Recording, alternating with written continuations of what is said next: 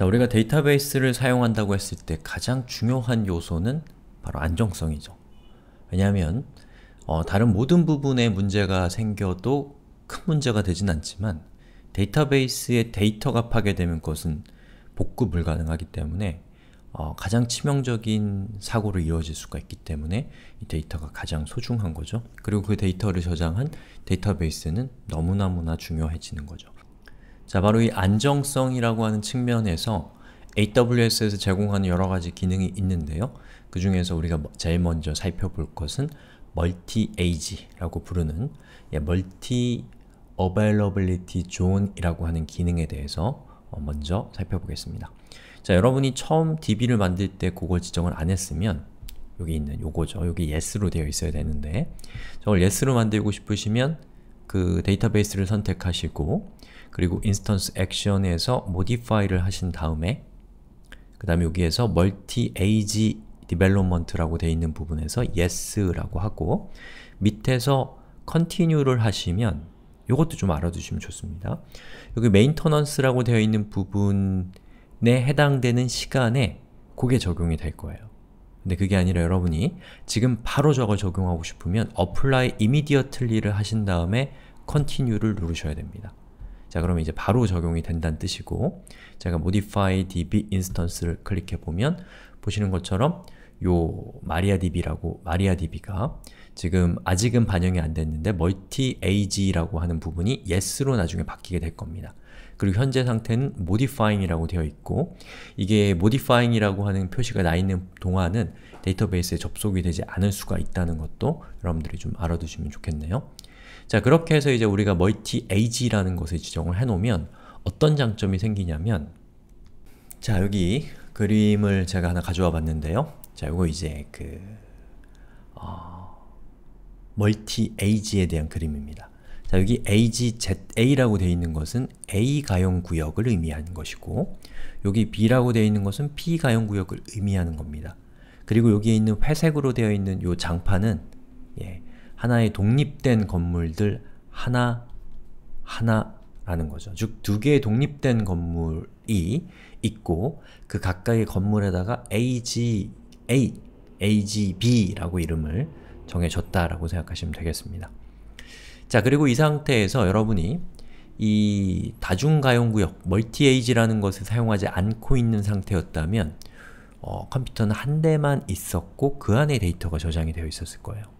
그리고 여러분이 다중가용을 키면 그러면 다른 가용 구역에 새로운 컴퓨터가 만들어지고 거기에 DB가 세팅이 되면서 자동으로 이 두 개가 연결관계를 갖게 됩니다. 그럼 어떻게 연결관계가 되냐? 이쪽에 있는 컴퓨터, 예를 들면 뭐 PHP나 자바나 마이스 그 뭐죠? 파이썬이나 루비 이런 것들이 설치되어 있는 컴퓨터 쪽에서 데이터가 데이터베이스 서버로 전송이 될 거예요. 그때에 어, 이렇게 전송된 데이터가 여기에도 저장되고 동시에 여기에도 저장되는 효과를 갖게 된다는 겁니다. 예, 그 내부적인 방식은 우리는 몰라도 되는 거고 자 그러고 있다가 이 이쪽에 있는 컴퓨터가 만약에 고장이 나잖아요? 그래서 사용할 수가 없게 되면 자동으로 그 아마존 쪽에서 이 미들웨어에서 접속하는 데이터베이스를 여기에서 인류 접속을 없애버리고 자동으로 그리고 어떻게 처리를 하냐면 자동으로 이쪽에 있는 서버로 접속하도록 변경을 한다는 것이죠. 그럼 어떻게 되나요? 여기 있는 것은 죽어있지만 이쪽에 예비 상태로 스탠바이 되어 있었던 저 컴퓨터가 서비스를 수행함으로써 이 시스템 전체가 다운되는 일을 어, 완전히 막거나 또는 뭐 수분 안에, 뭐 1, 2분 안에 그 장애를 복구하는 작업을 자동으로 처리할 수 있다는 겁니다. 그리고 그 시간 동안 AWS에서 알아서 여기 있는 이 컴퓨터의 어, 장애 상태를 복구하는 작업을 처리하거나 그게 불가능하다면 나중에 여러분이 시간이 될 때 여기 있는 시스템을 확인해서 그 장애 문제를 해결하시면 된다는 것이죠. 자 그리고 한 가지만 더 알아두실 것은 자요 다중가용이라고 하는 이 개념은 어, 성능을 향상시키는 것이 아닙니다. 다시 말해서 있는 두 대의 컴퓨터가 동시에 사용되는 것이 아니고 한 대의 컴퓨터는 스탠바이 상태로 예비 상태로 준비되어 있는 것이기 때문에 이것은 백업에 더 가깝고 백업과 완전히 같지는 않겠지만 백업에 더 가깝고 그리고 음, 성능을 향상시키는 것과는 무관하다는 사실도 여러분들이 좀 알아두실 필요가 있습니다. 자 그럼 이번에는 이제 백업에 대해서 좀 알아볼 건데요. 자 여기 있는 요 instance가 저렇게 있으면 데이터베이스 서버가 있으면 저기에서 오른쪽 클릭하시면 take snapshot이라는 것이 있습니다. 저건 이제 현재 저 snapshot을 찍는 그 시점에서 저 데이터베이스의 상태를 그대로 올려서 어, 딘가에 저장해 놓는 그런 기능이에요. take snapshot. snapshot은 뭐 사진 찍는 때 쓰는 그런 용어죠. 자, 그래서 여기에다가 제가 snapshot name으로 음, O2 뭐 예를 들면 2016년 뭐 2월 23일인가요? 오늘이? 자, take snapshot을 하면 사진을 착각 찍는 겁니다. 자, 여기 안 된다네요. 그러면 이제 대시로 바꿔야지. 자, 이렇게요.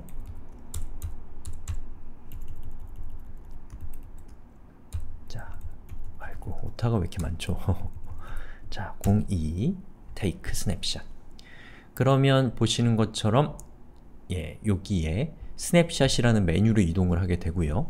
그 스냅샷이라는 메뉴로 이동을 하면 제가 지금까지 생성했었던 스냅샷들의 목록이 만들어지고 지금 음, 만들어지고 있는 상태이기 때문에 status가 creating이고 여기에서 뱅글뱅글 돌고 있는 모습을 볼 수가 있죠. 자 그리고 다시 instance로 돌아가 보면 보시는 것처럼 backing up이라고 나와 있는데요. 자 우리가 다중가용구역, Multi-AZ라고 하는 것을 지정을 해놨다면 어, 요게 진행되는 동안에는 이 서버가 죽지 않을 겁니다.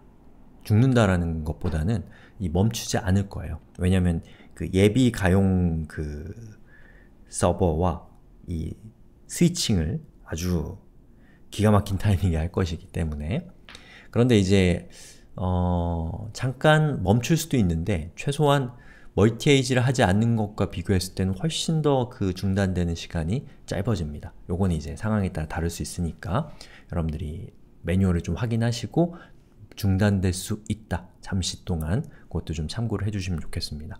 자 이렇게 스냅샷을 만들어 놓게 되면 이 상태 그대로 얼려서 저장이 되기 때문에 여러분들이 이제 뭘 할 수 있냐면 뭔가 위험한 작업을 하기 직전에 스냅샷을 하나 만들어 두는 거죠. 그리고 그 작업을 실행한 다음에 만약에 어떤 심각한 문제가 생기면 그 이후에 생겨난 데이터는 좀 손해를 감수하더라도 그 이전 상태로 돌릴 수가 있는 것이죠. 여러분이 스냅샷을 찍어놓은 그 상태로 그렇게 해서 일단 스냅샷을 보관한 후에 그 오리지널 데이터베이스 instance도 여전히 살아있을 거거든요. 그럼 거기 있는 데이터를 여러분이 적당한 방법으로 migration을 하면 이제 장애를 어, 회복하는데, 복구하는데 큰 도움이 됩니다. 자, 저는 지금 만들어지고 있는 것이 있기, 계속 만들어지고 있어서 예전에 제가 만들어 놓은 거를 어, 만, 그, 한번 복원하는 걸 한번 보여드릴게요. 자, 여기서 제가 복원하고자 하는 스냅샷을 선택하고 오른쪽 클릭한 다음에 오른쪽 클릭이 안되네요. 자, 여기 restore snapshot이라고 되어 있는 부분 보이시죠? 저거를 클릭합니다. 그럼 제가 지금 선택한 저 스냅샷을 기반으로 해서 생성될 데이터베이스 서버, 즉 instance를 지정하는 화면이 나옵니다. 자, 그래서 여기서 여러분들 헷갈리지 말아야 될 것은 스냅샷으로 되어 있는 것을 restore, 복원할 때 그것은 기존의 그 instance를 교체하는 것이 아니라 기존의 instance는 그대로 두고 새로운 instance를 만들어내는 겁니다. 그게 훨씬 더 안전하고 여러가지 편리한 점들이 있기 때문에 그 방식이 당연히 좋은 방식이죠. 자 그렇게 해서 여기 있는 instance를 여러분이 마치 새로운 instance를 지정하는 것처럼 세팅을 한 다음에 리스토, 리스토어 db 인스턴스를 하시면 그러면 이제 그 여러분이 스냅샷으로 찍어놓은 백업해 놓은 그 상태 그대로의 데이터베이스 서버가 어, instance로 만들어지고 여러분은 그것을 사용해서 복원 작업을 끝낼 수도 있고 그것과 기존에 있었던 데이터베이스와 데이터를 병합하는 과정을 통해서 어, 재해를 또 또는 재앙이 왔을 때 그것을 복원할 수 있는 그런 기능을 제공하고 있습니다. 자, 방금 보셨던 것은 이제 그 스냅샷을 찍은 것을 restore한 것이고요. 스냅샷은 여러분이 원하는 타이밍에 탁 백업을 하는 겁니다. 저거는 여러분이 스냅샷을 명시적으로 지우지 않는 이상은 저는 저거는 사라지지 않아요. 그리고 돈이 들어요. 자, 그 다음에 또 하나의 그 방법은 여기 있는 이 instance를 선택하고 그리고 instance action에서 restore to point in time 줄여서 PIT라고도 부릅니다. 즉 어떠한 특정한 시간으로 포인트를 찍어서 점을 찍어서 글로 리스토어한다, 돌아간다 라고 하는 그런 기능입니다. 자, 이걸 클릭해 보면 자, 보시는 것처럼 last 어, use latest restore restoreable time 제가 영어를 잘 못해요. 자, 아무튼 이런 그 내용이 나오죠. 그러면 이제 요거를 여러분이 클릭하시, 요걸 체크하시면 예, 요 시간에 해당되는 상태로 된 데이터베이스 그 instance가 새로 만들어질 겁니다. 그리고 여러분이 어떤 특정한 시점 예를 들어서 데이터베이스에 누군가가 코딩을 잘못했거나 아니면 공격이 들어갔거나 해서 어떤 특정한 시점에 데이터베이스에 심각한 문제가 발생할 수 있잖아요. 예를 들면 delete from topic where id는 1 이렇게 코딩해야 되는데 delete from topic까지만 코딩했으면 어떻게 돼요? 데이터가 다 날라가죠. 아, 생각만 해도 너무나 불행한 상황이죠. 자, 그런 경우에 이제 여러분이 이 AWS의 자동 백업 시스템을 이용하고 있었다면 예. 그러면 이제 AWS에서 그 데이터를 백업을 계속 해놓고 있습니다. 여러분이 만약에 7일을 지정했으면 7일 동안 백업이 진행이 되는 거죠. 자 그러면 이제 최대 7일까지의 데이터에서 여러분이 원하는 시점으로 데이터를 돌릴 수 있는 거예요. 그걸 돌려서 특정 새로운 instance를 만들 수 있는 기능이 바로 요겁니다.